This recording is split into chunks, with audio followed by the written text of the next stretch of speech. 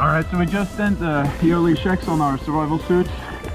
here uh, at the small spot where the temperature in the ocean is 3.4 degrees. This is just an annual check to make sure that they're nice and tight and uh, ready to save our lives if it's be necessary. All right, we have a lot of fun. Hope you enjoyed watching it.